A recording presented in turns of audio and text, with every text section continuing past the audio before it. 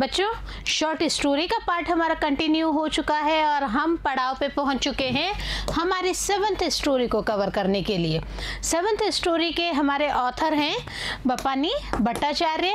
और अगर हम बपानी भट्टाचार्य की बात करते हैं तो हम क्या देखते हैं कि ये एक इंटेलेक्चुअल पर्सनैलिटी है, बहुत ही अच्छे हैं और अच्छे का मतलब है कि इन्होंने न सिर्फ़ स्टडी पर्पज से नॉवेल्स, स्टोरीज़ को लिखा है। ये एक फ़र्स्ट ऑफिसर भी रहे हुए हैं। इट मीन्स इन्होंने एडमिनिस्ट्रेटिव जॉब भी किया हुआ है फॉरेन जॉब भी किया हुआ है। इवन ये कॉलेजेस में पढ़ा के भी आए हुए हैं। It means lot of works are there of Bhabani Bhattacharya today we are covering its first part of the story glory at twilight twilight की अगर हम बात करें तो हम क्या कहते हैं? जो संध्या वेला होती है, उसे ट्वेलाइट कहा जाता है। तो संध्या वेला इसका शीर्षक क्यों रखा? क्या रीज़न है? क्या ये एक एक्सट्रैक्ट है? यही सब कुछ हम हमारे फ़र्स्ट पार्ट में आपको कवर करते हैं about the author and story में। सबसे पहले हम बात करेंगे हमारे ऑथर बपानी भट्टाचार्य के बारे में। Bhabani Bhattacharya was born on tenth November nineteen hundred and six in Bhagalpur a part of Bengal Presidency in British India उस समय ब्रिटिश इंडिया का राज था हमारे इंडिया में, और उसी time nineteen hundred six tenth November को भागलपुरा में बपानी भट्टाचार्य का बर्थ हुआ था। हम बात करें इनका कि ये बहुत अच्छे इंडियन राइटर हैं तो देखिए आप he was one of the foremost Indian writer of Bengali origin who wrote social realist fiction होता क्या है कि ये बंगाली ओरिजिन है सोशल रियलिस्ट फिक्शन के ऊपर ये लिखते हैं, लेकिन हम एक बात देखते हैं कि इनकी जो बातें होती हैं, वो अच्छे थे ऑथर्स के साथ होती हैं। और अगर हम बात करें रविंद्रनाथ टैगोर की तो रविंद्रनाथ टैगोर ने भी इनको सजेस्ट किया कि it's okay you have full command on Bengali but आपको जो राइटिंग्स करना है, वो इंग्लिश में लिखना है। और इसी तरह से हम क्या देखते हैं कि इनकी जो राइटिंग्स है बच्चों, वो ज़्यादातर इन्होंने इंग्लिश में ही किया है। इट मीन्स इनके जो नॉवेल्स हैं, इनके जो शॉर्ट स्टोरीज हैं, वो इन्होंने इंग्लिश में ही कवर किया है। Bhattacharya gained a bachelor's degree from Patna University and a doctorate from the University of London. अगर हम इनके स्टडीज़ की बात करते हैं तो हम देखते हैं कि इनका ग्रेजुएशन जो है वो पटना यूनिवर्सिटी से हुआ है और इनका जो डॉक्टरेट है, वो लंदन से हुआ है। लंदन से डॉक्टरेट करने के बाद में ये सिविल सर्विसेज़ में आ गए।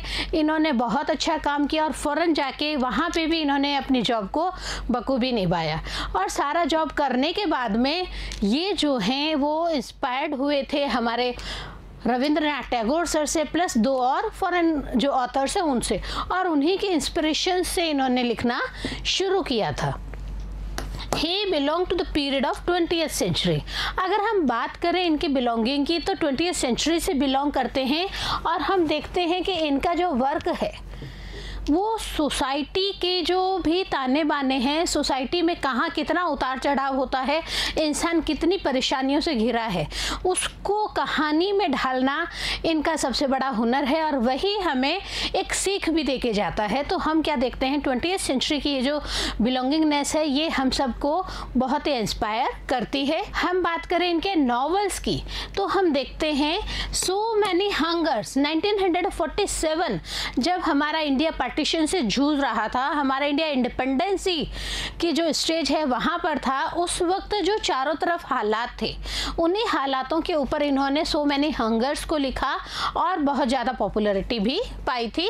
म्यूज़िक फॉर मोहिनी 1952 में इनका नया नावल और इसमें इन्होंने कितना तरीके से, जी हाँ कितने अच्छे तरीके से अपने बात को रखा है। ये आप और हम जब पढ़ते हैं तो इसको रियलाइज़ ज़रूर करते हैं बच्चों। He who rides a tiger tiger की राइडिंग। लेकिन यहाँ पे इन्होंने यही नावल लिखा है, यहाँ पे इन्होंने इसी नावल की बात की है 1952 के एडिशन में। और हम देखते हैं कि इनका जो वर्क है, वो इसमें बहुत ही उम्दा रूप से हम सबके सामने आया था। A goddess named gold goddess named gold 1960 में इनका जो नावल है, यह भी हम लोगों के लिए बहुत ही पढ़ने के मैटर से इम्पोर्टेंट है। एक और है फाइव शेडोज फ्रॉम लद्दाख। जब लद्दाख में 1966 में इनका नावल आया है, लद्दाख की जो सिचुएशंस हैं, उन सिचुएशंस की परछाई को देखते हुए, उन सिचुएशंस की कंडीशंस को देखते हुए इन्होंने अपने इस नावल की ताना बाना रखा है, बुना है इसको। अ ड्रीम इन हवाई 1978 एंड मैनी शॉर्ट स्टोरी ये हवाई में एज अ लेक्चरार काम करते थे और वहाँ पे इन्होंने ये नावल लिखा है ड्रीम इन हवाई 1978 में। इसके अलावा इनके कई सारी जो शॉर्ट स्टोरीज़ हैं, वो भी कवर होती हैं। अगर हम इनके अवार्ड्स की बात करते हैं बच्चों तो हम क्या देखते हैं? सबसे बड़ा साहित्य एकेडमी अवार्ड 1966 में इनको दिया गया इनके नॉवल शेडो फ्रॉम लद्दाख के लिए। हमने आपको पहले ही बताया लद्दाख की सिचुएशंस की कंडीशन हमने आपको बताया कि वहाँ पे क्या पोजीशंस हो रही थी, उनको इन्होंने परछाई की तरह पीछा करा, परछाई की तरह उनको देखा ऑब्जर्वेशन किया और अपने शब्दों में ढाल के हम सबके सामने प्रस्तुत किया था। हम अगर अपनी इस प्रेजेंट स्टोरी की बात करते हैं तो हम क्या देखते हैं? This story Glory at Twilight is taken from the collection Street Hawk and other stories जी हाँ ये एक एब्स्ट्रैक्ट है Street Hawk and other story story से ही इसको लिया गया है। और ये जो है, ये हमारी ज़िंदगी के ताने बाने को ज़रूर ज़रूर बताते हैं। हम बात करेंगे इसकी भी, लेकिन हम क्या देखते हैं? हमारे ऑथर बप्पानी भट्टाचार्य की जो डेथ है, उसके बारे में ही डाइड ऑन टेंथ अक्टूबर 1988 तो 1906 से लेकर 1988 तक की इनकी जो यात्रा है, उसमें इन्होंने अपने वर्क से एक अमिट छाप छोड़ दी है हम सबके सामने। एक अच्छा वर्क हम सबके सामने है एक अच्छी। हम कह सकते हैं कि इनकी जो पर्सनल लाइफ है, वो भी हम सबके लिए इंस्परेबल है। हम बात करें हमारे इस प्रेजेंट शॉर्ट स्टोरी की तो हम क्या देखते हैं? Glory at twilight by Bapani Bhattacharya is the story that revolve round Satyajit who enjoyed the most successful days in his life यह जो स्टोरी है, ये एक ऐसे किरदार के आसपास घूम रही है, जो अपनी ज़िंदगी में सफलता की ऊंचाइयों पे है और उनका नाम है Satyajit.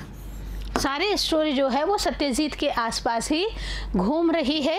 He worked in a bank where he caught hold a man who was trying to encash an unsigned cheque और स्टार्टिंग इनके सक्सेस की जो स्टार्टिंग है आउट ऑफ़ द वे जाके इनको प्रमोशन मिला, लेकिन किस वजह से मिला इसका रीज़न है कि ये एक बैंक में काम करते थे और वहाँ पे एक बार क्या हुआ, एक पर्सन वहाँ पे अनसाइंड चेक लेके आते हैं और उस अनसाइंड चेक को एनकैश कराने की कोशिश करते हैं। After this incident he was promoted और वह जो पर्सन आते हैं, उस वक्त उनके हाथ काँप रहे होते हैं। कहीं ना कहीं सत्यजीत को शक होता है और सत्यजीत क्या करते हैं? उन आदमी का चेक का पूरा जैसे ही देखते हैं, अपने मैनेजर को कन्विंस करते हैं कि देखिए, ये बात है और अनसाइन चेक है और इन्हीं सब बातों से इम्प्रेस होकर इनके जो सीनियर हैं, उन्होंने उनको आउट ऑफ़ द वे जाके प्रमोट कर दिया।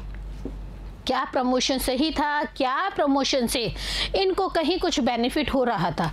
क्या प्रमोशन से इनकी लाइफ स्मूथ हो गई थी या कहीं इंटरप्शन वहाँ पे भी आ रहा था? Let's see then he was married और इस इंसिडेंट के कुछ समय बाद में इनकी शादी कर दी गई। He was on the pinnacle of his successful profession और उस वक्त वह अपनी सफलता के जो चरण है, अपने कार्य के प्रति बैंक में काम कर रहे थे और उसमें अपने सफलता के चरणों को एकदम ऊँची ऊंचाइयों तक पहुँचा रहे थे। इट मीन्स बहुत ऊँचा ये पहुँच चुके थे। बट क्या होता है देखिए बच्चों? But suddenly his bank went bank and sold Satyajit अचानक क्या हुआ कि ये जिस बैंक में काम करते थे, उस बैंक को दिवालिया घोषित कर दिया गया। और जब बैंक दिवालिया हो गई तो उनके जो कर्मचारी हैं, वो अल्टीमेट वहाँ से हटा दिए गए। और हटाने की वजह से जो सत्यजीत है, वो भी अपने आप में दिवालिया हो गए। उनके पास जितना भी चीज़ था, वो सब इनको सेल आउट करना पड़ा या मॉर्गेज पे रखना पड़ा। Now he had nothing with him at present अगर हम इस स्टोरी के यहाँ, इस पड़ाव तक देखते हैं तो हम क्या देखते हैं? सत्यजीत के पास में अब कुछ भी नहीं है। He sent his pregnant wife to her parents where she gave birth to a son और अपनी इस चीज़ को छुपाने के लिए, ताकि मिसिस को भी पता ना चले कि अभी उनका जो फाइनेंशियल कंडीशन है, सत्यजीत का, वो कैसा है। सत्यजीत अपनी प्रेग्नेंट वाइफ को अपने पीहर भेज देते हैं। और वहाँ नाना के घर में क्या होता है बच्चों? जी हाँ सत्यजीत को एक पुत्र रत्न की प्राप्ति होती है। तो यहाँ पुत्र रत्न उन्हें मिल गया है बट हम क्या देखते हैं? एक और क्राइसिस मुँह फाड़े उनके आगे खड़ी हुई है। He got an invitation of marriage from Srinath for his daughter's marriage. But at the village, uncle Srinath expected him what he had not thought. Uncle Shrinath जो उनके रियल अंकल तो नहीं थे, परंतु हम क्या देखते हैं? इनके पहले भी तीन बेटियाँ थी।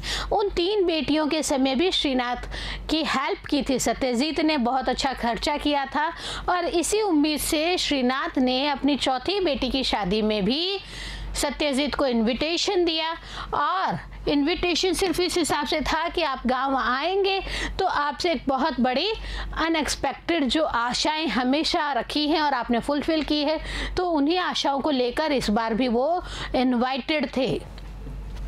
For rupees two thousand one invitation का रीज़न भी होता है, क्या इनविटेशन में श्रीनाथ जो हैं, सत्यजीत को कन्वे करते हैं कि आपको पता है कि मुझे डॉवरी देना पड़ेगा और डॉवरी में मुझे आपकी हेल्प की ज़रूरत होगी।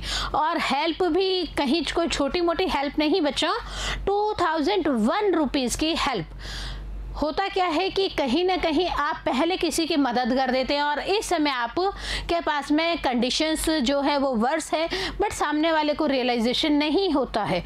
और वह उसी उम्मीद से जैसा कि आप पहले कॉपरेट करना चाहते थे या करते थे, वो नेक्स्ट टाइम भी ऐसी ही आशा करते हैं और इसी आशा की वजह से हम क्या देखते हैं, जो सत्यजीत है, उन्हें बहुत बड़ा लॉस हो रहा है। कैसे देखिए?